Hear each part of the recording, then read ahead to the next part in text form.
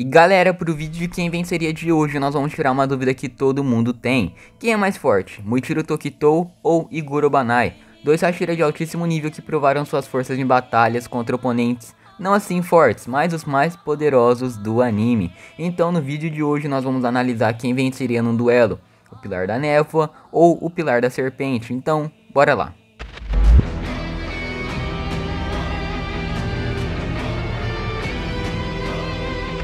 Rapaziada do meu coração, rapidão antes da gente dar início, já dá um help aqui no Thiagolds, deixando o like, e se você for novo aqui, se inscreve aí, bora fazer parte dessa comunidade super incrível. Vídeos todas as terças, quintas e sábados, me ajuda aí. Bora introduzir os nossos lutadores então. O Banai é o Hashira da Cobra, e como sabemos é um dos mais habilidosos espadachins dessa geração. Sua respiração da cobra foi desenvolvida por ele mesmo a partir da respiração da água. Esse estilo utiliza uma espada de formato ondulado que permite golpes parecidos com ataques de cobra. E essa é uma das maiores habilidades dele, o que foi comprovado no arco do treinamento Pilar, onde foi Iguro que ficou responsável pela revisão de habilidade com espadas. O Pilar da Serpente também tem feitos incrivelmente incríveis, o maior deles foi na sua luta contra Muzan, onde mesmo depois de ter enfrentado Nankimelo ao Superior 4, ele conseguiu lutar de forma fantástica contra o Lorde dos Demônios, ganhando muito destaque com o Tanjiro, pois mesmo com Gyomei, Tomioka, Sanemi e todo mundo no chão, ele estava lá e estava um fire total. Mas enfim, além disso tudo, Obanai conta com recursos físicos aprimorados, força, velocidade, resistência e reflexos sobre-humanos, marca dos caçadores e a lâmina vermelha, que não ajudaria muito numa batalha de espadachim contra espadachim, mas é sempre bom lembrar. Do outro lado temos o Hashira mais prodígio dessa geração, isso por causa da sua linhagem sendo parente de sangue de Mikikatsu Tsukikuni ou Kokushibo Lua Superior 1. Tokito com apenas 14 anos ganhou muito destaque, tanto no arco da Vila dos Ferreiros, quanto no arco da luta contra as duas superiores mais fortes no Castelo do Infinito.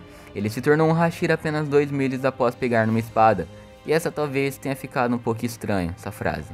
Mas é isso mesmo, mas enfim, com seu estilo de respiração da névoa, Tokito conseguiu enfrentar a elite da elite dos demônios. Vale lembrar que esse estilo de respiração serve para perturbar o sentido dos inimigos e alterar a percepção do ambiente ao redor. Ou seja, é uma técnica que seria muito eficaz tanto nos Onis quanto em humanos normais.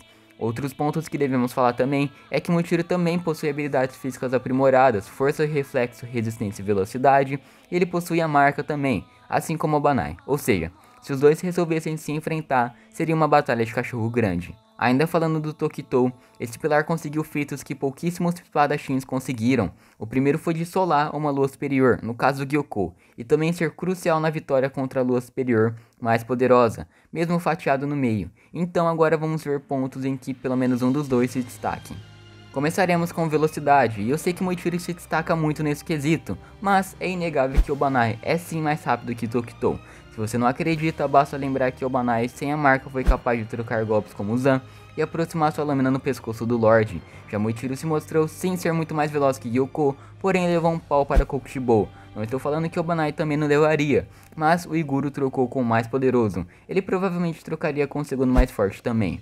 Segundo ponto, vamos com força bruta. E essa é um pouco óbvia se você ler o mangá. Muichiro é bem mais forte que o Banai, mesmo possuindo apenas 14 anos. O Pilar da Serpente, em questão de força pura, é o segundo mais fraco de todos, enquanto Tokito está em quinto, mais forte. Terceiro atributo, vamos analisar as habilidades especiais. E essa fica em cima do muro. Ambos os estilos de respiração foram refinados ao máximo tanto por Iguro quanto por Muichiro. Enquanto a respiração da serpente possui cortes flexíveis, como a de uma cobra, e se adapta melhor a qualquer tipo de luta, a respiração da névoa tem uma técnica um pouco diferente. Assim como já falamos, ela quer desnortear o inimigo e fazer com que Muichiro possa finalizar a luta. Então nesse quesito o ponto vai para os dois. Quarto ponto, vamos com estamina. E essa é bem difícil também, isso porque se formos pensar nos feitos incríveis de Tokitou, ele conseguiu segurar Kokushibo super bem, e mesmo fatiado no meio foi crucial para a vitória, enquanto Iguro foi um dos que mais lutou contra Muzan, mesmo saindo de uma batalha cansativa contra a Lua Superior 4 na Kime. Então nesse quesito novamente temos um empate. Agora sim, beleza Thiago, Tokitou de vantagem contra o Banai só possui força bruta, enquanto Iguro só possui velocidade. Ambos empatam em habilidades especiais, estamina e até mesmo inteligência em combate. Os dois possuem a marca, então, no auge do auge, quem vence essa final? Será que eu mudei minha opinião?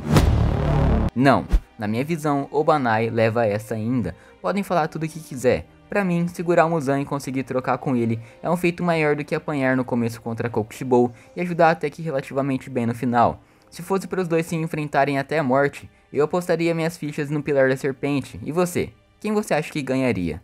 Vídeo chegando ao final e eu de coração espero que vocês tenham gostado. E se gostou, já me ajuda compartilhando o vídeo, que isso me deixa muito feliz. Infelizmente, eu ainda não fiz um vídeo pro meu canal de crescimento no YouTube, mas eu estou arrumando minha agenda aqui para conseguir tirar esse projeto do papel. É só isso mesmo, galera. Tamo junto, eu vou ficando nessa. Fui. Falou.